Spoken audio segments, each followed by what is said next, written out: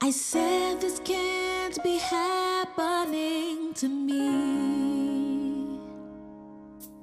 I wasn't ready for the challenge, for my life was still unbalanced, and the pleasing of my fans and my friends still had demands on me.